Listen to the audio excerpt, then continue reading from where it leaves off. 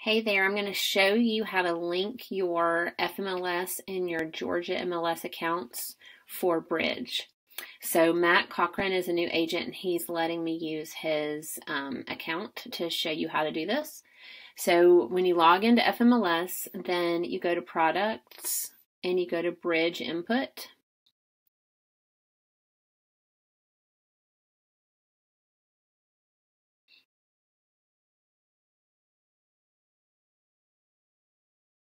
Don't know why it's taking so long.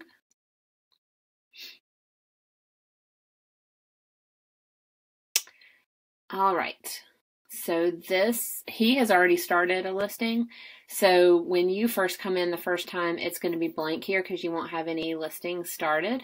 So you'll click on this connections spot and um, his connection FMLS is already in there, and then it knows about Georgia MLS, but they're not connected. See how it says connections just one? So what you do is you click on this Georgia one, and it says connecting will allow us to send listings to Georgia MLS. You say yes, confirm.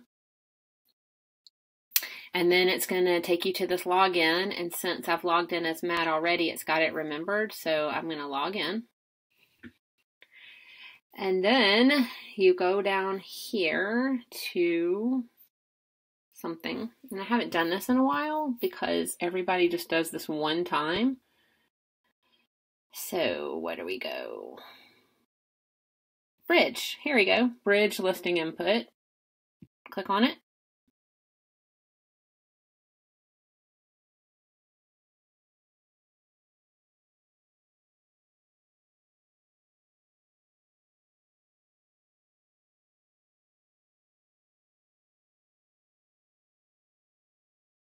And now you see that you have these two things side by side.